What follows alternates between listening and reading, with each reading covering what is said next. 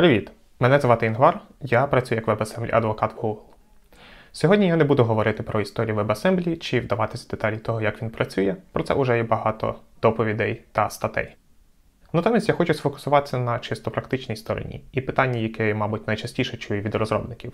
Окей, мені цікавий WebAssembly, як мені спробувати його на практиці? Як на мене, основна перевага WebAssembly для веб-розробників полягає у розширенні екосистеми. Якщо потрібна вам бібліотека вже існує, але написана на іншій мові значно відмінні від JS, то за допомогою WebAssembly ви можете її скомпілювати та використати у веб-середовищі з мінімальними втратами швидкості. Саме це я і хочу зробити сьогодні, провівши вас через процес портування від початку до кінця. Для цього прикладу я візьму бібліотеку для роботи з зображеннями, написану на Rust, і використаю її на звичайній веб-сторінці. Я обрав Rust, тому що це сучасна безпечна мова, яка не потребує ручного керування пам'яттю, але при цьому інвестувала багато в генерацію швидкого і маленького коду, і, зокрема, в підтримку WebAssembly. Перше, що треба зробити, це ініціалізувати проект. Я створив порожню папку і викликаю cargo initlib. Cargo це як NPM для Rust. І він створює стандартний шаблон бібліотеки з кількома файлами. Далі нам буде потрібний WASM Binding. Оскільки різні мови мають різні системи і представлення типів, для комунікації між ними потрібний прошарок, який буде конвертувати значення з одного представлення в інше. WASM слугує таким прошарком саме між JS і WebAssembly з Rust. В нього доволі детальна документація, і, як ви можете побачити, тут доволі багато різних прикладів від простого Hello World до складніших типу WebGL і WebRTC. Але оскільки я буду працювати з зображеннями, то найближчим прикладом для мене буде Canvas Hello World. В ньому показано, як отримати доступ до Canvas з Rust коду і намалювати смайл. Для простоти я скопію звідси тип бібліотеки і список залежностей, і буду рухатись вже від цього коду. Для прикладу, я відразу знаю, що мені не потрібно буде нічого робити з JS API, і мені не потрібен документ, елемент і банінг для Windows. Е, натомість я хочу приймати Canvas напряму як параметр. Тому я просто приберу ці залежності з конфігурації. Тепер я можу почати писати сам код. Для цього я видалю автозгенерований код з шаблону і натомість додам атрибут WASM-Binding. Він позначає, що функція має бути експортована до JS з конвертацією типів. І тепер оголошу власне функцію, назву її processImage, яка буде приймати Canvas як елемент, тобто з типом HTML Canvas Element. Тепер нам потрібно збудувати код. Найпростіший спосіб це зробити це взяти WASM-Pack, який був створений тією ж командою, що є WASM-Binding, і об'єднує всі необхідні команди в одну: компіляцію WebAssembly, додаткові оптимізації і генерацію JS. На цій сторінці ви можете знайти різні інсталятори для різних систем, але оскільки в мене він вже стоїть, то я цей крок пропущу. Натомість я можу відразу викликати WASM-Pack Build і вказати, що хочу ціль Web, не Bundler і не Node.js, і він почне компіляцію. Тим часом я гляну ще раз на приклад Canvas Hello World. І я можу пропустити кроки, де він отримує сам Canvas, і натомість скопіювати чисту частину, де він отримує 2D-контекст для малювання. Скопіюю цю частину мою функцію. І далі отримаю ширину і висоту канвасу, і також збережу їх у окремій змінні.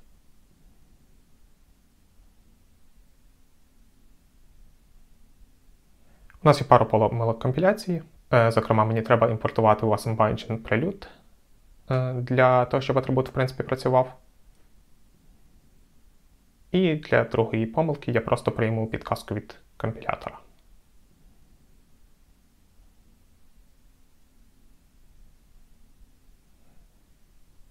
Окей, тепер помилок немає. Перекомпілюю цей код ще раз. Я бачу, що він згенерував папку package, у якій є WebAssembly, JS і навіть типи для TypeScript. Е, зокрема, я можу бачити, що я бібліотека вже експортує звичайну JS-функцію processImage, яка приймає Canvas як елемент. Тепер мені треба отримати зображення з Canvas на стороні Rust.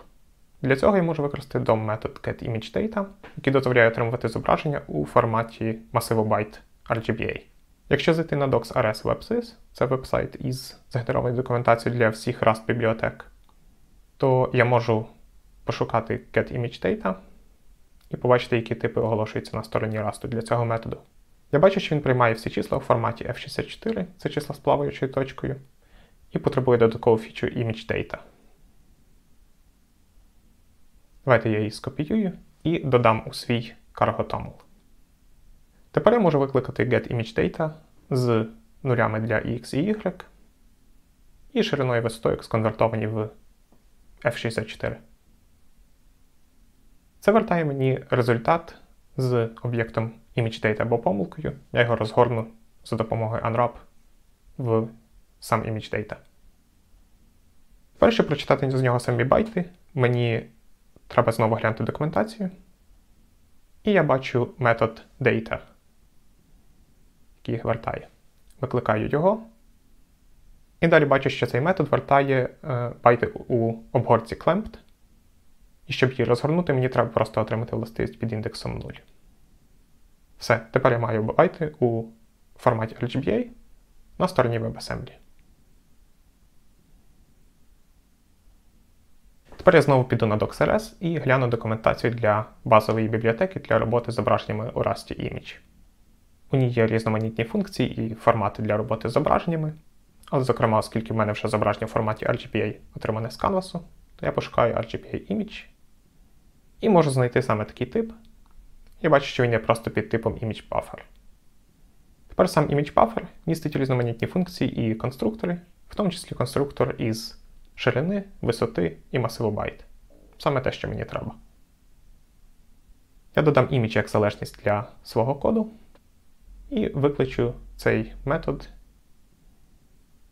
і збережу результату зміну імідж. Передаю йому ширину, висоту і, власне, байти.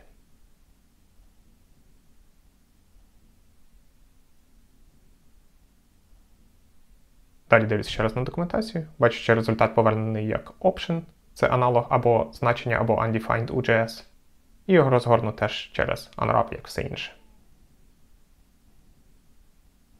Тут я поки залишу тут документар, де можна щось робити з зображенням, і натомість тим часом гляну, як його конвертувати назад. Я бачу, що є метод sRow, який дозволяє отримати внутрішній контейнер, тобто самі байти в оригінальному форматі. Я його викличу, отримаю ці байти і збережу у змінну. Назву її raw image data. Тепер мені треба створити сам image data.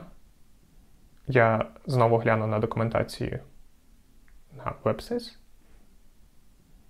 щоб зрозуміти, як його сконструювати назад. І я бачу конструктор, з який отримує посилання на байти, ширину і висоту, який мені підходить. Так, Викличу image data і скопіюю назву цього конструктора, оскільки вона доволі довга. І передам йому ширину, висоту і самі байти.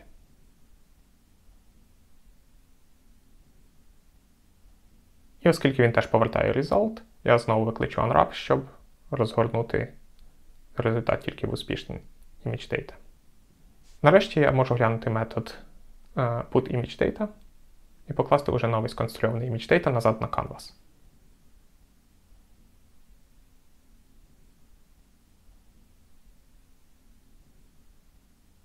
Бачу, він приймає посилання на ImageData і XY, тому я передам йому посилання на мою зміну, і XY задам по нулях.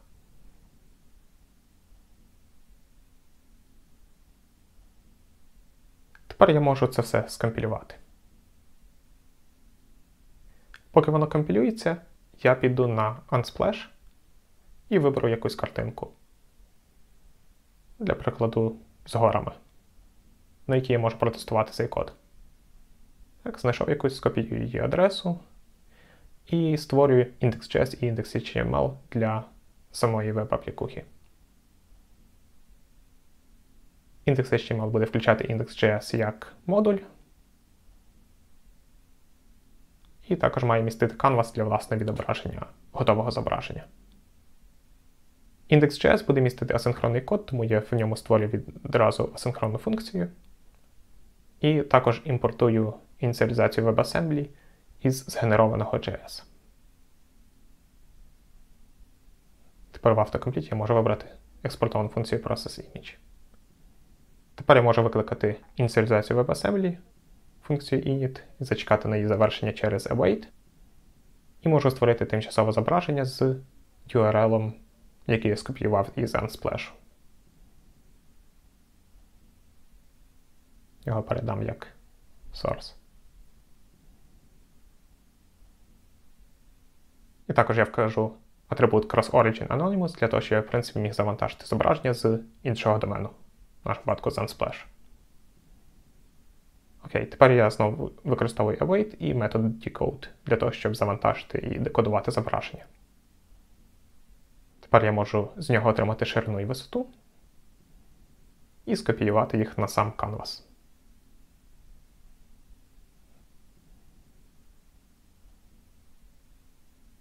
Так, мені треба отримати сам canvas. Для цього я використаю getElementById.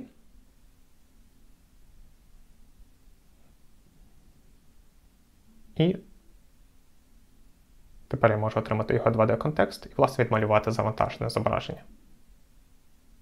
Мені треба передати зображення X, Y, то просто по нулях. Тепер в HTML я додам кнопку для власне виклику обробки WebAssembly. Назву її, наприклад, Process with WASM, присвоюю якийсь ID.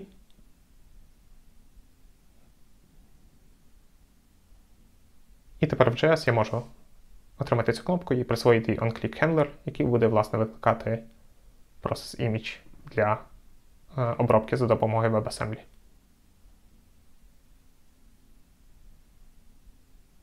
Тепер я можу запустити сервер і відкрити панель з будованим браузером.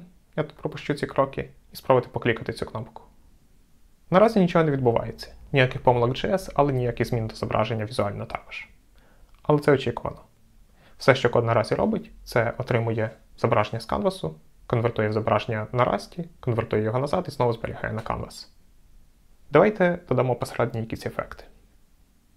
Для цього перейду назад до DocsRS і знову відкрию документацію Image. І тут я бачу модуль ImageOps, який містить різні операції для роботи з зображеннями. Тут є багато різних стандартних трансформацій. Для прикладу, я можу зайти в операції по роботі з кольором і вибрати, наприклад, Hue Rotate, який змінює тональність зображення. Зокрема, можу використати варіацію Hue Rotate in Place. Оскільки ми не хочемо зберігати копію оригінального зображення, можемо просто змінювати ту, яку ми маємо. Цей метод приймає поворот тональності зображення в формі кута на колі між 0 і 360 градусів. Його викличу на своєму зображенні, наприклад, з параметром 90 градусів. Тепер мені треба пофіксити помилку компілятора, зокрема, що зміна має бути власне змінною, а не константою, і можу видалити тут до коментар. Тепер можу перекомпілювати цей код. І коли я оновлю сторінку, то цього разу кожен клік на кнопку, власне, змінює тональність зображення кожен раз на 1 четверту. Відповідно, 4 кліки вертаю його до початку. Наразі ця реалізація не зовсім ефективна, тому що вона читає зображення з канвасу заново на кожен клік, кожен натиск кнопки. Навіть при тому, що у нас вже є свіжа модифікована копія зображення з минулого разу, і ми знаємо, що вона відповідає стану на канвасі. Я використаю цю можливість, щоб продемонструвати, як експортувати структури класи із Rust. Я знову використаю все той же атрибут WASM але цього разу створю структуру. Нехай вона буде названа Image Processor. Тепер у ній мені треба зберегти всі змінні, які потрібні для обробки зображень, зокрема, контекст, на який вони будуть відмальовуватись, і, власне, уже сконвертоване зображення у форматі RGB Image. Тепер з тим же атрибутом я можу додати блок із методами. Один з методів буде позначений за допомогою WASM Constructor. Він каже, що цей метод має бути експортований як JS-конструктор для класу. Створю функцію new, яка буде приймати власне canvas і вертати цей image processor. І в нього піде вся ця частина, яка ініціалізує читає як початкове зображення із canvas. В кінці я верну новостворений image processor і в ньому збережу контекст і, власне, вже сконвертоване зображення.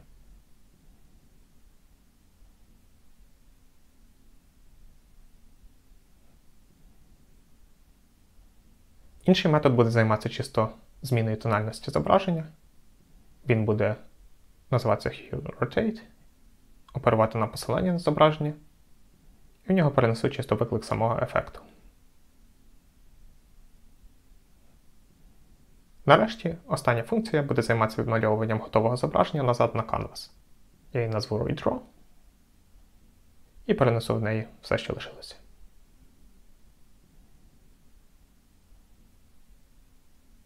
Так я розбив одну функцію на декілька окремих кроків, які можуть викликатися незалежно один від одного. Треба пофіксити пару помилок компіляції, переважно просто отримуючи підказки від компілятора, приймаючи їх. І тільки для ширини і висоти я тепер їх можу отримати безпосередньо з конвертованого зображення. Відформатував код. І ще одна помилка.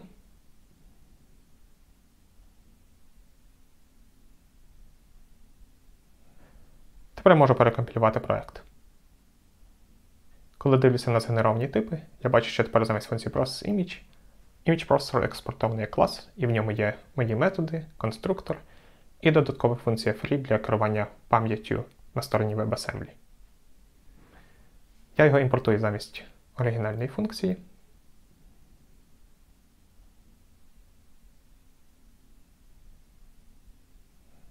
І тепер його сконструю відразу, як тільки зображення відмальоване на канвасі. Передам йому сам канвас. Обравні кнопки має тепер вкликати тільки Hue Rotate і Redraw і вже не має читати зображення з канвасу щоразу. Ми їх просто викличу. І тепер оновлю сторінку. І тепер візуально нічого не змінилося, все успішно працює, як і до того, але трохи ефективніше, оскільки зображення вже збережене і перевикористовується між викликами. Інший плюс такої організації коду це те, що я можу відносно легко додавати будь-які інші ефекти. Наприклад, тут я пропущу деталі реалізації, але загалом по тому ж принципу я додав метод Grayscale і асоціював його з окремою кнопкою. Він загалом трішки складніший, але конвертує зображення у його чорно-білу версію. По такому ж принципу можна додавати безліч інших ефектів, як ті, що вже є в бібліотеці Image, так і з інших бібліотек і власні. І врешті можна навіть опублікувати цей клас як бібліотеку на NPM. Насправді, в процесі цієї доповіді я наткнувся на бібліотеку PhotonRS, яка саме це і робить. Це одна реалізація бібліотеки для роботи з зображеннями, яка водночас опублікована на Crates.io як RAS бібліотека, і завдяки WASM Binding скопільована до WebAssembly і опублікована на NPM, і може бути використана також як звичайна JS-бібліотека з різними ефектами для зображення. Така синергія дозволяє отримати найкраще з різних екосистем і портувати код між різними платформами. І вона стає можливою завдяки WebAssembly. Сподіваюсь, ці приклади були корисними, і після цієї доповіді ви зможете також спробувати скомпілювати якусь з існуючих бібліотек до WebAssembly і використати у ваших веб-додатках. Дякую за увагу!